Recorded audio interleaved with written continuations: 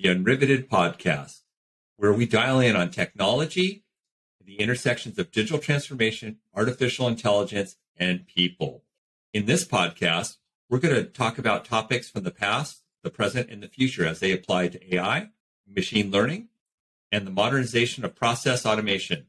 In this, this episode is sponsored by and brought to you by the Verb Corporation, where words have action.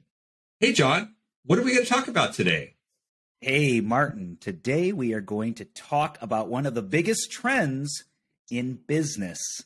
Uh, and you probably heard this phrase before digital transformation. What do you think? John, are we talking like TQM, total quality management, Six Sigma, net promoter score? Help me out. I mean, I'm a little confused. well, uh, you know, it's funny that you mentioned those three topics, Martin, because you know we've kind of heard those, we've seen those come. They've they've been uh, in vogue for a while, and then they kind of went out of fashion, uh, at least for the most part. But uh, uh hopefully, digital transformation doesn't get included in that, uh, you know, that categorization too. So I'll give you my, you know, my opinion of digital transformation is, let's see, you know, a corporation wants to migrate their local, you know, on-prem compute resources to cloud infrastructure because they're trying to save costs. You know, they're trying to be able to have uh, the ability to scale up fast. You know, el- elasticity, uh, how those resources can expand or contract. You know, basically optimizing, you know, how they uh, utilize their IT resources. Um, but you can also think about it for developing, you know, data analytics skills within the business side employees and promoting uh, data-driven you know decision making rather than using gut instincts um, or even achieving yeah well i mean gut instincts will always have their their position somewhere you know i suppose but uh, this is this is just my opinion you know so you we're, we'll we'll get to your opinion in a little bit here. That's the whole point of the show right? Um also you know achieving uh you know savings in their um you know using uh machine learning. Machine learning is kind of you know my topic of interest. Um, but how are they using digital transformation to automate processes and uh, again, you know, automate decision making? Uh, but there's the one thing is I, I, you know, you hear a lot of companies doing this, and you know, you mentioned TQM and Six Sigma and Net Promoter Score, and you know, the last thing that I want, from my perspective, uh, is to hear companies endlessly toss around the term digital transformation like it's a foregone conclusion for what is needed you know, to drive real shareholder value in the 21st century. John, there's a lot to unpack there. And I know firsthand, uh, we both have seen a lot through our careers. Um, we have.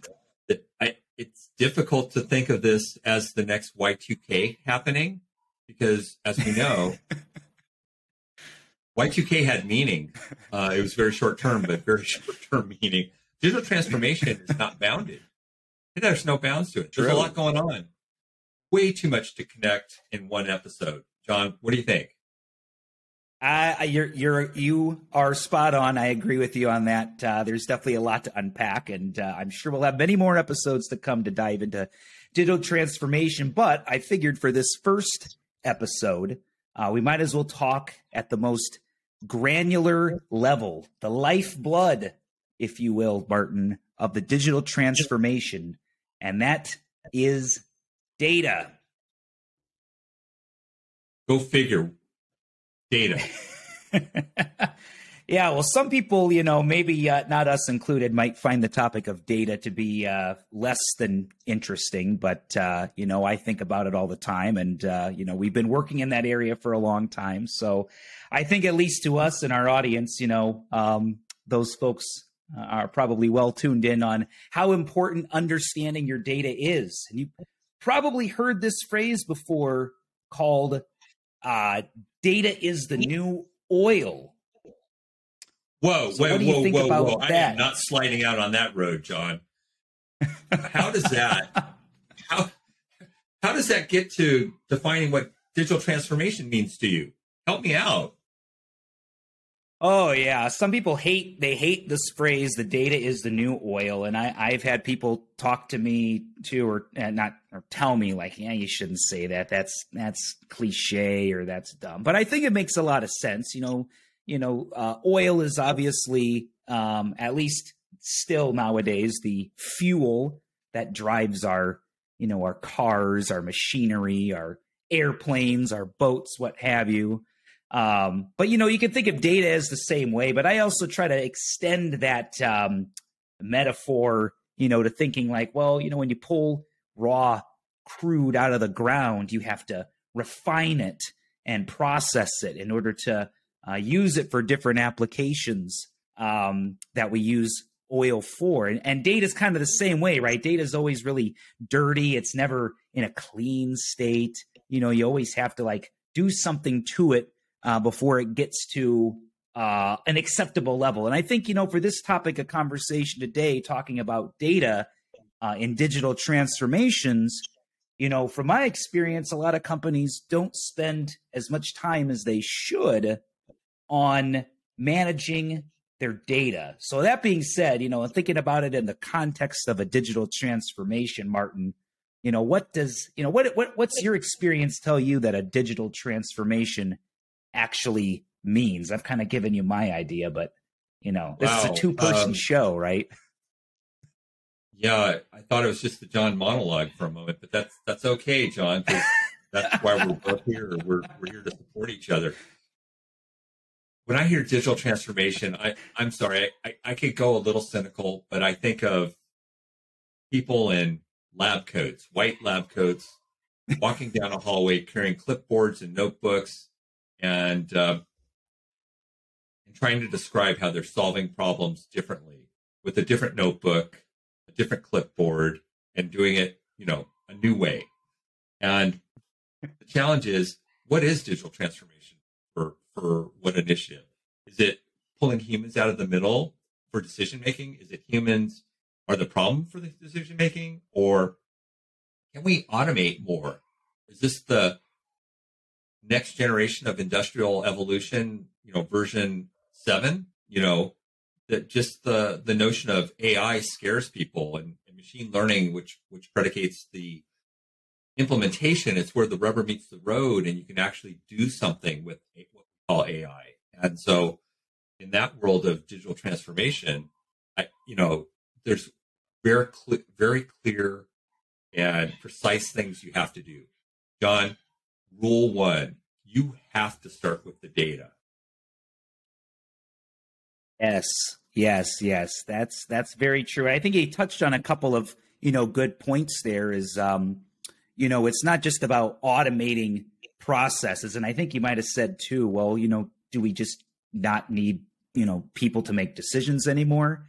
Uh, you know, I still think people are going to be, you know, key elements in making decisions for business solutions. Although, you know, talk to someone who made chat gpt and they might tell you well we don't need people at all anymore but uh, you know i think you, you got to think about it holistically, right? Like it's, you know, it's automating processes through data, it's automating decisions through data.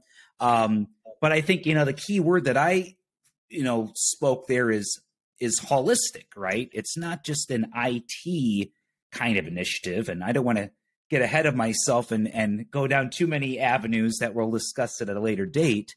But um, there's a lot more to it, I think, than just thinking, well, how do we take all of our processes and throw them on a computer and uh, you know flip the switch and then all of a sudden we're digitally transformed. Um, you hit a good point too is like well how do we define that? Is there a what do you think? Is there a is there a, a one definition for digital transformation that you could apply to any business um, or any uh, industry? Um, again you know thinking about it from the data perspective what do you think yeah, great question, John.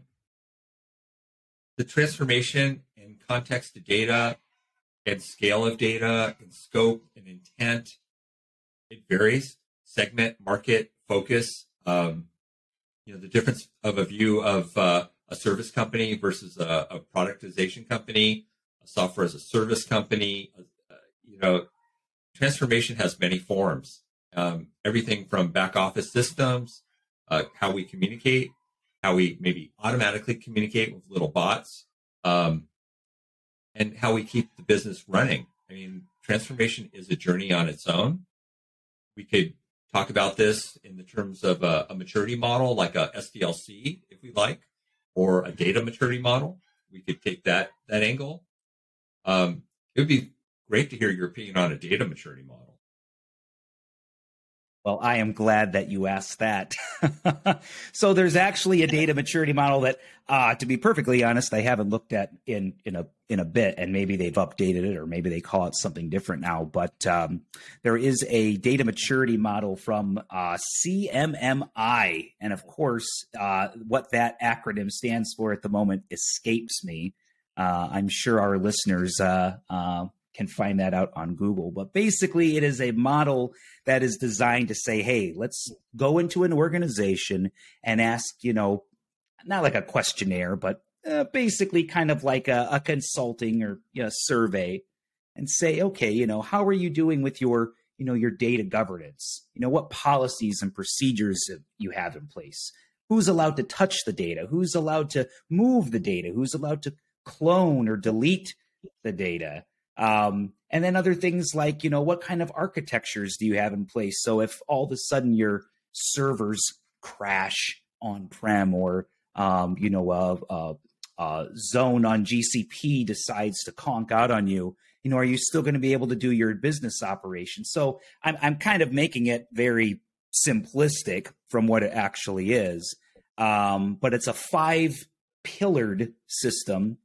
Um, that's used to basically say, okay, uh, organization XYZ, here's where you currently are in terms of your digital transformation maturity. How do we go from here to there? And then once we're there, how do we go from there to the next there and so on and so forth? Um, every company is going to be, you know, in kind of a different place in their, you know, transformation process. But um, uh, from my experience of using it, it's usually a pretty intuitive model, uh, and most organizations, even those people that don't uh, have their hands directly into digital transformations, uh, have found it very helpful. CMMI data maturity model. Again, can't remember what CMMI means off the top of my head, but I was I was holding back here, Don. Compatibility, maturity model integration. It's fine. It's a process of processes. It's a framework it's all good. It's all good. Well, John, okay, this was a, good, good. a very informative discussion and a little lively. I, am sure we can have fun um, traversing several areas and, and going further in. Uh, how about we conclude this episode and maybe make a mention of our next episode? In our next episode, we will discuss one of my favorite uh, digital transformation topic, and it's not what you think, John. It's Ninja IT. and no cat out of the bag on that one. All right. Well, I, I am clearly in the dark, Martin. So uh, I'm looking forward to our next discussion. I didn't know ninjas were in IT, but um, we'll see what you have to say. Well, John, it's been fun talking as usual, and lights out.